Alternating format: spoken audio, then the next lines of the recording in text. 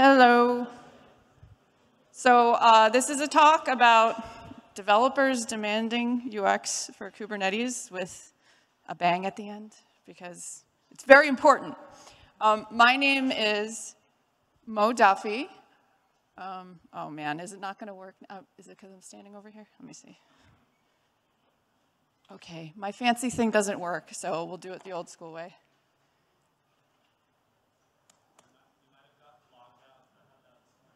Really? Oh, no, well, okay, I got something. And is it gonna go back and forth? Okay, cool, all right, it's working again, okay.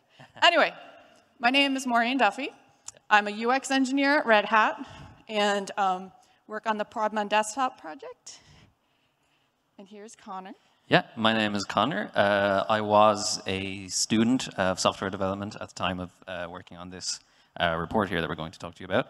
So uh, I interned with Red Hat. Uh, this is one of the projects I took on while I was interning. Um, since then, I've been uh, gotten a full-time position with Red Hat. I've been employed. So, but yes, at the time, I was just an intern. And we are KubeCon newbies, so, so be gentle, okay? Yeah.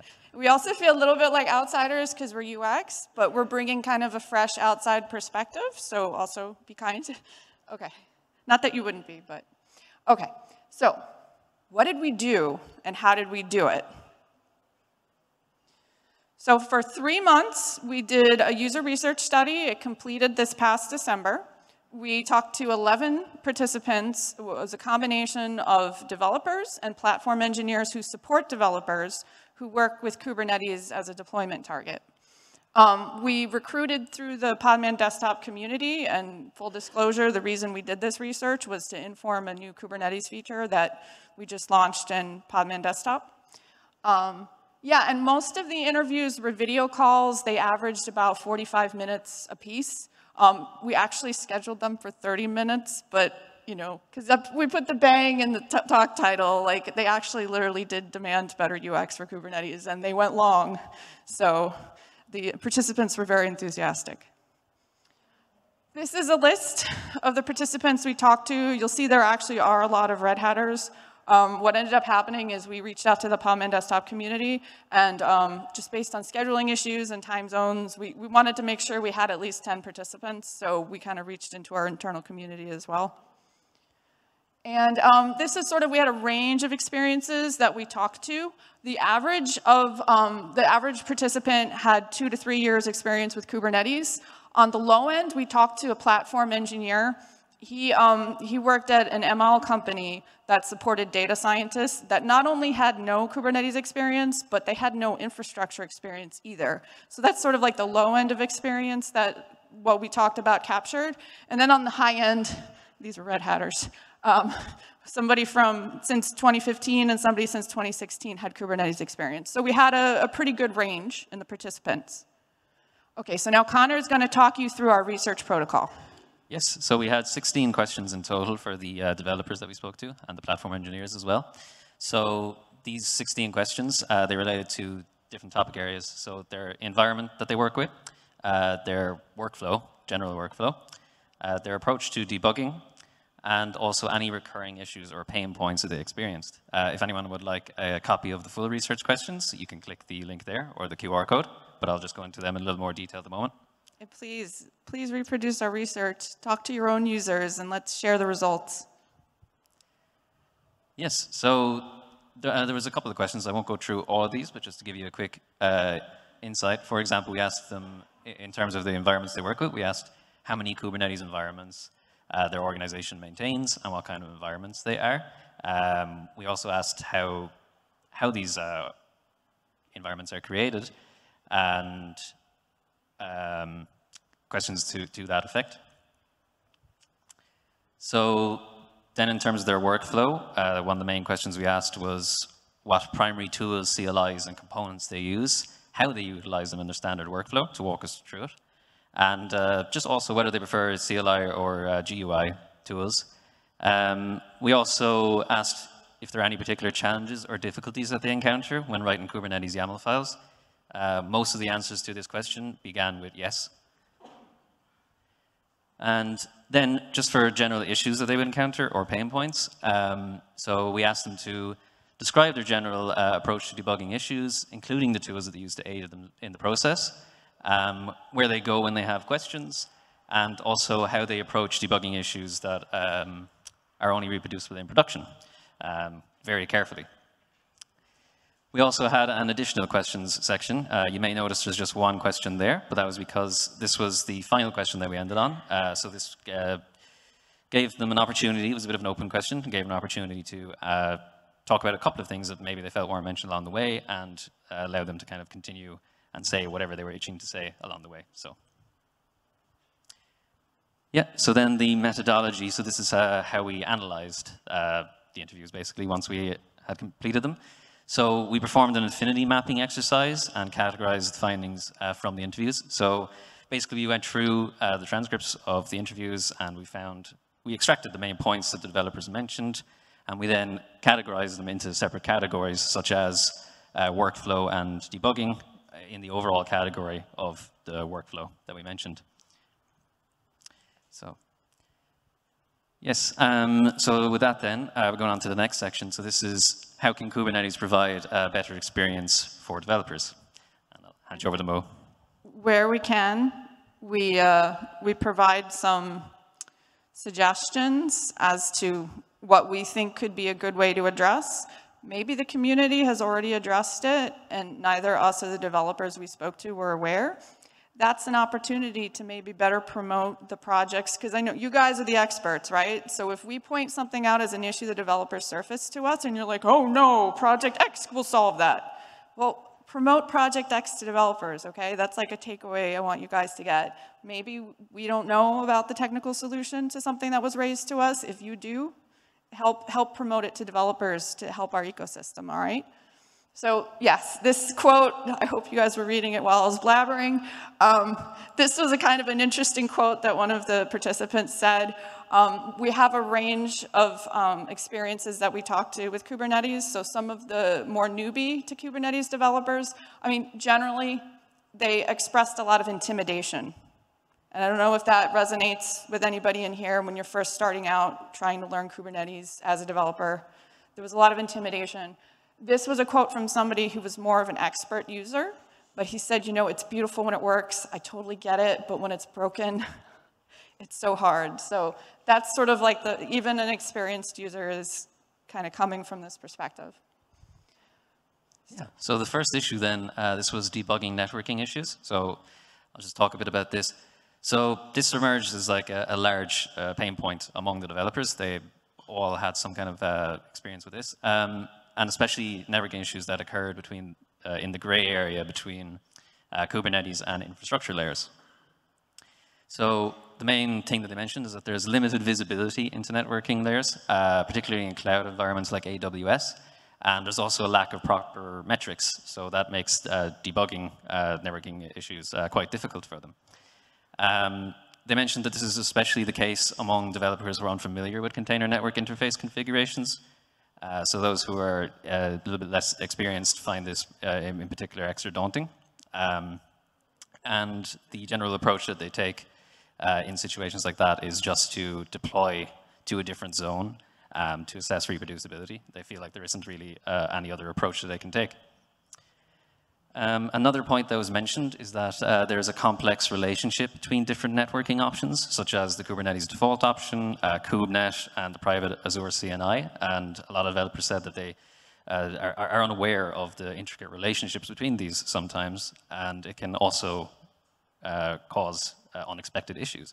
So one particular example that was raised is that if you use the Azure CNI overlay, um, that it may restrict the use of the application gateway for ingress.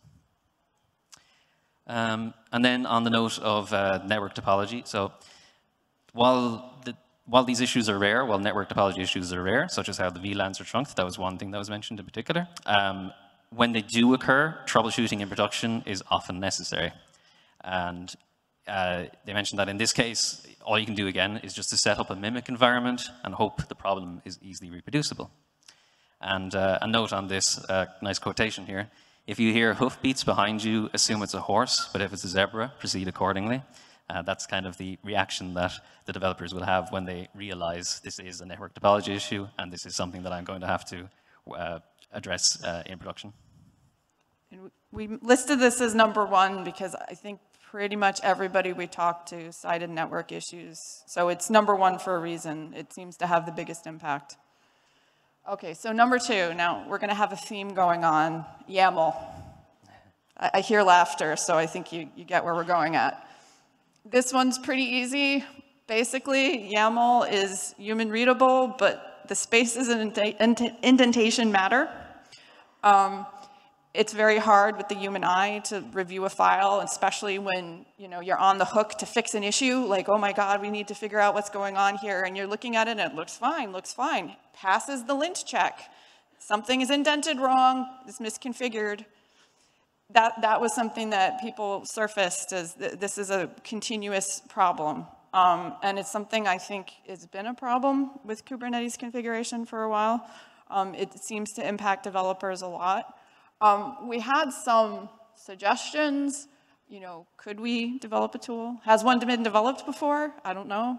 Um, that would maybe give you some sort of preview before you commit the new YAML. Could it give you a preview of what it's going to do? So before you push it, you would get an idea of the impact. So if you did have some indent that was broken, it would let you know.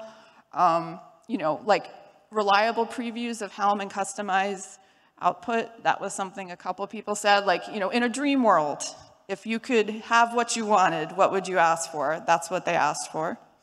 Um, also, the various ways values can be stacked and added to, to objects before the application of the template. That was another thing that came up. Um, so that's, that's the thought here. So now on to the next YAML theme. Yes, so the next one then, this is a lack of proper YAML validation. This is something that the developers raised as well. So they, they feel that this is a significant issue. Uh, they feel like the tools uh, for YAML validation, uh, they're not uh, integrated with, for example, the custom resource definitions uh, that are found in clusters. Um, so if you have a CRD for Tomcat, this is one that was specifically raised, um, the YAML validation tool, it won't be able to validate the YAML unless you import the Tomcat CRD into the tool first. Um, they also mentioned that many, this is something that the platform engineers we spoke to uh, mentioned, but they said that many of the organizations, they have resources created without the proper GitOps mindset uh, in mind while they're creating them. And um, they mentioned this is a problem too, because if automation is part of their continuous development pipeline, uh, there isn't a viable tool to generate GitOps YAML files uh, that they can run Git version on and then reapply to other clusters as a baseline. So some of the recommendations uh, that the developers said, themselves said they would like to see, uh, they would like to see a tool, a reliable tool for YAML validation, uh, which accounts for custom resource definitions, and it uh, takes into consideration as well GitOps principles. Um, so this is a tool that could potentially be incorporated with the previous tool we mentioned for uh, indentation. But what they would like to see is the, a tool that will can, can validate the syntax and structure of YAML files to ensure they're valid, be integrated with custom resource definitions that, that are defined in clusters, and also generate GitOps YAML files that can be version controlled and reapplied to other clusters as a baseline quite easily. Number four, and this is the third and final YAML series developers complaining about Kubernetes feature. And by the way, there's eight of these. We're halfway through. I know these are dense slides, but there's a lot that the developers told us. Um, so this one is when developers are exporting YAML, it kind of has a lot of tags and labels and annotations and timestamps, but otherwise it may be the same as another YAML, but because of those little minute differences, two YAMLs can seem like they're different or they're applying to different types of things. Um, something that multiple of the developers we spoke with said it would be so nice if I could just export a clean copy of the YAML that doesn't have all these little bits in it so that I can have a better, clearer view of what the differences and similarities are in the environment. And again, it's one of those things where I think by default, Kubernetes is very chatty. I, I get it, I'm very chatty too. But when you're new to a platform like this and you're just getting started, it is a fire hose of information. And I think that's why, on the whole, developers kind of express this intimidation. So I think this is one maybe easy way, if we provided a tool to export clean YAML, It would make it so that only the differences that really mattered, they would stand up because there's less, there's less, I mean, this is a general UX principle, right? The less information you have, when some, you make an alert for something or you highlight something, it stands out so much more because there's less than it, that it's competing with, right? So if we had some sort of export clean YAML feature, then those little bits like the timestamps and the tags and the annotations that don't really matter won't add to the noise and it'll help the developer hone in on the bits that they should be paying attention to. Um, and, and that is exactly what we suggested here with a little bit more details. Um, and again, like inadequate export functionality hampers the development of a comprehensive single pane of glass. That's what I'm talking about. Some way that you can just get an overview and what surfaces to your attention is only the stuff that really is different. Yes, and then another uh, issue raised by the developers was uh, feeling of uh, inadequate uh, security analysis uh, tools. So they mentioned that uh, security analysis tools, they often generate warnings for non-issues, as they tend to check the library versions on base images. So this was raised as like a really big problem because it causes desensitization to these warnings. the developers will sometimes anticipate that a warning is, is a non-issue, and then that makes it easier for the real serious uh, issues uh, to be missed, basically. The Kubernetes that cried wolf. Yeah exactly. Um, so the, despite efforts to address security vulnerabilities, um, this was another thing that was mentioned as well. Uh, many builds on artifact.io uh, have these vulnerabilities in them, as, and this is partially as a result of that desensitization to the warnings, uh, where, and only the critical alerts get the attention that they deserve in cases like this. That's a feeling among the platform engineers that we spoke to. Um, another issue, this was also mentioned by the platform engineers, they said that uh, a lot of the developers there are unfamiliar with differences in application security at runtime and at rest, and then this leads to unexpected vulnerabilities appearing at runtime too. Um, and one thing in particular they mentioned as well, uh, this is something that the developers said that they feel uncomfortable with. Uh, they said that certain security analysis tools, like ROX CTL, uh, they require you to push the image to the registry before you can scan it. And uh, they feel that this uh, risks um, inadvertent pulls of those insecure images and is a security risk in itself.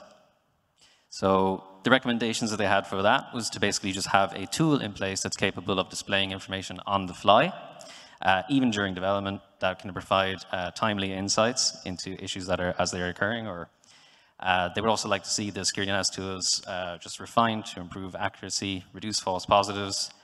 They would like our developer awareness to be increased around security at rest versus at runtime, and uh, also to have uh, enhanced tool integration and workflow to minimize the need for registry images before scanning. We got three more. Are you guys okay with the demands? Is it too much? Okay. Come on now, come on, be, be happy, be, be responsive, please. We're very nervous. Um, so number six was crash back loops. Um, this probably won't be a surprise, but it's a little bit hard to debug a thing when it crashes so fast that you can't actually take a look at it.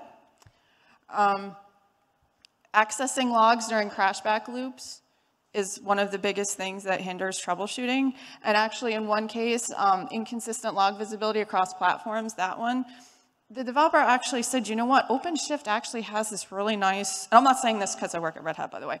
It has this really nice thing that lets you view the log when you're in this situation, but it's not on a screen the developer anticipated. So the entire time he was in this trying to figure out what was going on, he figured out that he could scroll down on this one page and access this log, but it wasn't where he anticipated. He anticipated it being on the events page.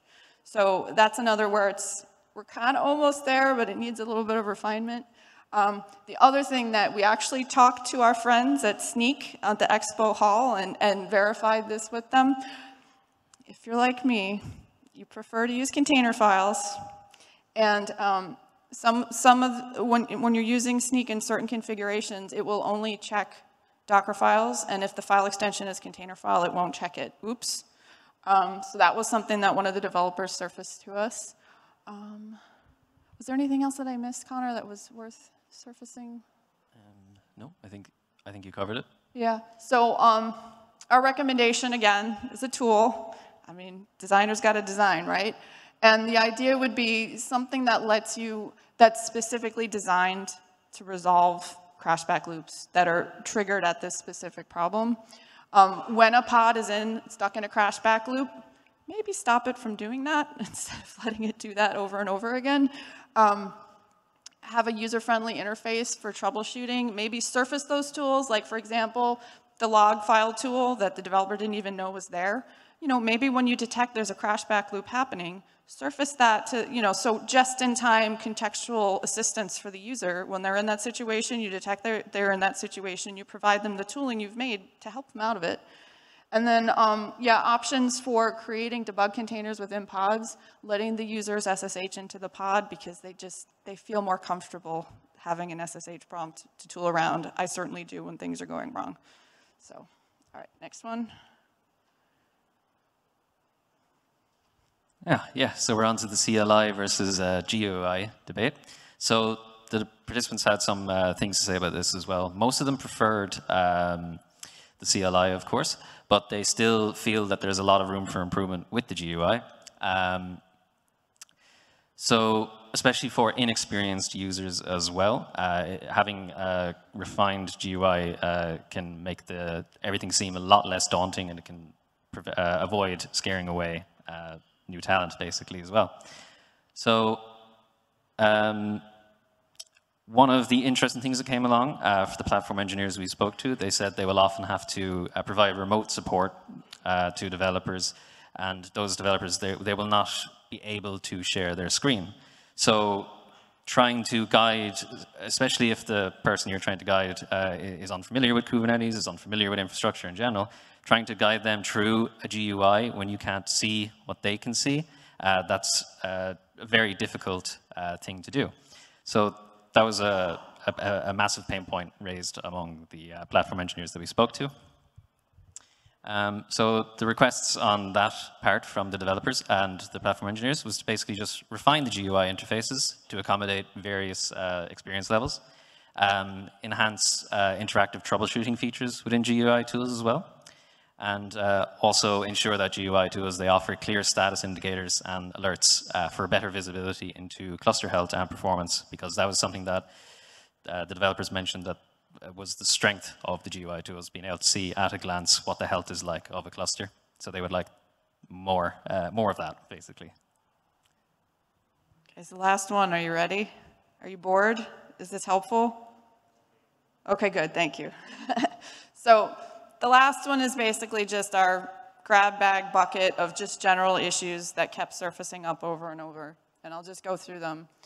Um, the lack of direct access to a file system was something that made the developers feel a little bit like, I'm not at home, I'm not safe here, what's going on? It was just a, an impression that they surfaced to us. Um, working with multiple kubeconfig files that are constantly changing and merging is cumbersome.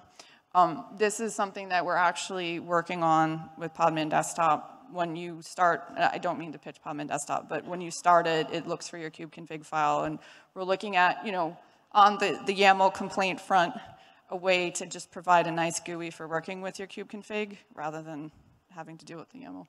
Um, despite SaaS vendors offering applications exclusively through Kubernetes or containers, um, vendor-supported customers are deterred by its perceived complexity. So this is the case where, you know what, the, the company needs some tool. They don't know anything about Kubernetes. And the vendor tells them, well, you want to run our tool? We're happy to, to help you. You have to set up Kubernetes, and then we deploy it on top of that. So they're sort of like dragged into Kubernetes just by the sake of this tool they want to run. So that's sort of, you have to think about this is the perspective they're coming into it, right? Um, troubleshooting Kubernetes can feel overwhelming. That's the whole quote that I showed up front about when it works, it's beautiful, but when something goes wrong, the pieces are all over the floor and I don't even know where to start. Um, any kind of guidance we could give users when it, we can clearly detect something happened, you know, at the point that it happens would be very reassuring and helpful to them. Um, and then just fragility in Kubernetes component interoperability, especially during upgrades, deploying platform level components like service message or service meshes provides challenges and risks. Um, you have dependencies, you have charts referencing older versions of the API. It's kind of difficult to navigate. Um, so our recommendations here, intuitive tools for editing Kubernetes configurations, um, enhanced debugging tools to accommodate pods with multiple containers, avoid altering internal DNS config on Windows, reducing the need for admin access, and then simplifying Kubernetes pipeline for debugging um, would be nice. Okay, so we made a lot of complaints to you guys. We, well, we didn't make the complaints. We're, we are advocating for the developers and platform engineers we talked about, okay? And it's great to come with a list of things, this needs fixing, this needs fixing, this needs fixing. But what about actually fixing it? So we'll just give you a quick little talk about Podman Desktop and how we took some of this research and put it into action. What I would love everybody in this room to do, wherever you, you integrate with the Kubernetes ecosystem, Think about the findings we had, think about the things that we surfaced to you, and think about, is this something that I can change about what I'm doing? Can I make this better? Is there some small patch I can write, or can I change the way I think about a thing to make this better? And as a community, I think that we can tackle this, especially the YAML stuff. I mean, that seems pretty doable, right? But, yes.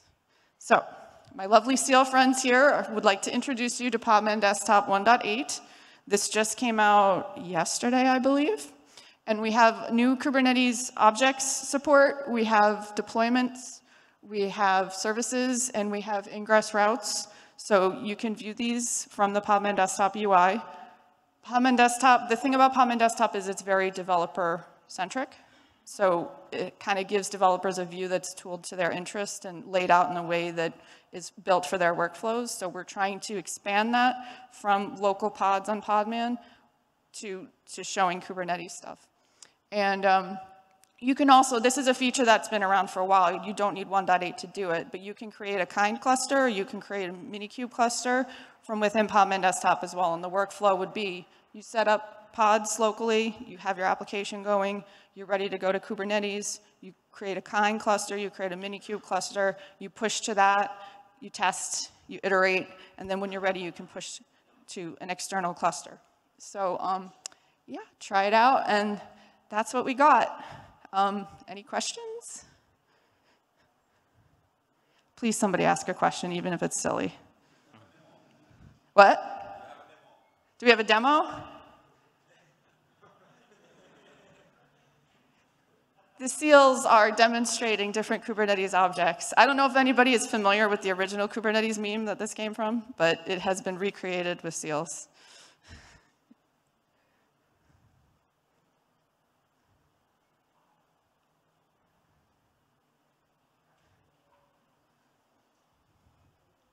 No? Check. Okay. Uh, is there a way to connect to the API through OpenShift? Through Podman Desktop? That's an interesting question.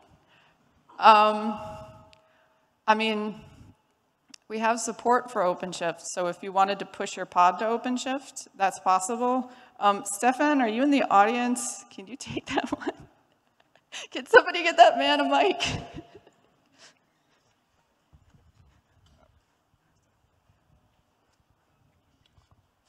I'm phoning a friend, guys. So uh, the answer is yes. so you can effectively uh, connect to an OpenShift environment directly from, uh, from Podman Desktop, but you can also connect to any kind of Kubernetes environment through the APIs. So you can deploy there, uh, and you can see the different resources uh, that are running there as well.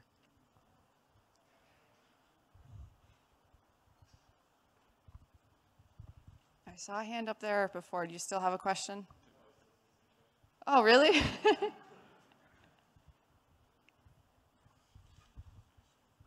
I think I think one thing about the logs would be interesting is in Docker Compose you had this where it showed you all the containers when you do the logs. Whereas in Kubernetes you have the issue that, well, it defaults to one container, but it's not inherent of which one it defaults to. That's one thing. And the other thing is that I don't work for Uber, but I know they have a tool where if a pod crashes, it generates a zip file of the logs before the crash and uploads that to their compute platform. If Kubernetes had a singular, a simple, like a similar concept, that would be super cool. Those are great ideas, yes. Please work on them. I think we had one over there, yeah. Right there. Thank you for the presentation. I think most of us are not in the um, UX um, knowledge department. If we were to reproduce your experience and your um, process in our companies, how would we go between gathering the information into some results? Do you have some process that you can share with us? Sure. Do you want to hit on it a little bit, Conor, or do you want me to take it? Uh, I think you, I, okay, I'll go back to, and I just want to say that like we, we are open source zealots at Red Hat, which shouldn't be a shocker to anyone. This is a screenshot of a tool called PenPot. It is an open source design tool that we can use as like a sticky note app. So a fancy pants UX designer will tell you this is an affinity mapping process. I'm just going to tell you, you basically, you, you, you interview you can take the questions that we, we sent out. There's the QR code and the slides. I'm, I'm, sure the slides will be available after the talk. And then you, you find some developers to talk to. You go through the questions. What we did is we did, um, we used Google Meet, and it does the auto-transcribe function. And we went through the transcriptions after the fact. And it's, it's sort of a technique, it's called ethnography. It comes from the anthropology field, and I know I'm going way into too much detail here, but you go through the transcripts and you just pick out those nuggets of information that were really insightful. So what me and Conor did is we kind of split the transcripts halvesies, and we each kind of reviewed the transcripts in detail, and anytime that we saw something, oh yeah, that was insightful, oh wow, that was a good point, oh, maybe we should look more into that, we just made a sticky note. Um, and the sticky notes were sort of all over the place to start. And then once we had enough of them, we, we had, I don't, was it two, two hours, three hours? Yeah, it took about, a while. About three, I think. This was yeah. a big study, and like, like I said in the beginning, the developers were so into it that the meetings went much longer than we had planned, so we had a lot of data to work with. But we basically had a couple calls where we went through all the sticky notes and we just clustered them. And it's not like it's not like a scientific, well, it is literally a scientific process, but you're basically reading through them and the ones that seem similar, you just physically place them next to each other. So we did that, we ended up having different clusters, and then we went through the clusters and came up with labels for them, and then Conor very helpfully organized them into columns. And you'll see like in this, like you'll see like we have cloud native mindset, workflow, networking. So we ended up with like a lot of subcategories, and what we ended up doing is clustering the subcategories into larger categories, and that is what we ended up with the seven categories of, of information that we came out with. So that, that's how we went through the process, and then once we went through each category, we kind of thought through. And it's interesting because uh, these are listed not in any order. YAML was one of the ones that really popped up to the top, and it's reflected in the results where we had three actual YAML results that we felt were actionable. So does that help? Cool. Okay. Hello. Um, thank you for the talk. Uh, for a bit of context, uh, I work at a company that delivers application platforms, and we are, uh, yeah, I can attest to the challenges for delivering these application platforms for developers.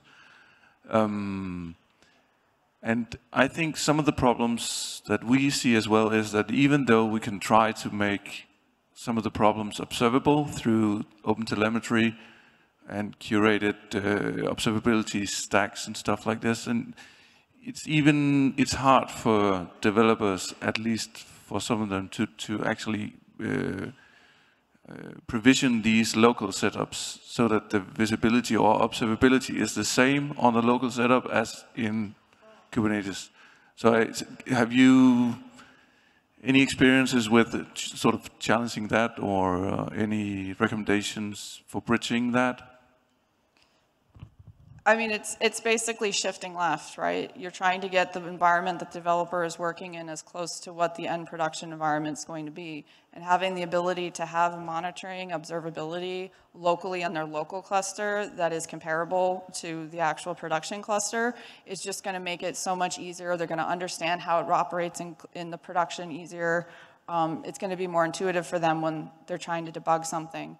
So 100%, I mean, I would say yes, that's a great recommendation is anything you can do to get their local cluster as close to production as possible, it will minimize a lot of those, those impedance issues. Thank you, that was very insightful. Hello. Uh, thank you for the awesome talk. Um, quite a few of these points really hit home. Uh, the one part that I wasn't really clear about is you were talking about user experience, but specifically, are you talking about user interfaces or are you talking about the CLI? And at least for the CLI, like I feel like some of these issues like are not well known, but there are solutions. Like you know, there are plugins for kubectl, like kubectl neat, that will take out all the crap out of your YAML and just give you like the the specific things that you care about. Um, the other thing that I find is really useful for kubectl is doing a server-side apply with a dry run, and that will run you through all the validation checks and give you a lot of information about what's wrong. Um, but yeah, some of those things like you know networking and trying to trace every packet that goes through and you know what IP table rules touch it and you know why is it you know crashing. I'm totally with you on that. So I wasn't sure whether you know it makes sense to differentiate like you know our is this on the CLI or is this on the UI and when it comes to UI, what kind of UIs and what kind of CLIs people? Yeah, when we, when we say user experience, we mean the entire user experience, whether it's the CLI, whether it's some GUI, whether it's just going to the, a web page of a Kubernetes platform and starting from there, or going through the docs. It's just the entire experience. And I, I would say, hey, if the CLI has tooling to address some of the issues we surface, the developers aren't finding it. So that could be, does that mean maybe this feature in the CLI, we should look at surfacing it in some of the UI tools for developers? Does it mean we need to advertise it better? Does it mean maybe we should examine the layout of the CLI's verbs and, and commands and see maybe, maybe we should have a better way to make it more obvious that this functionality exists. Or maybe if we detect an error state, we suggest a specific verb for the command that could help, and then that's how they learn, right?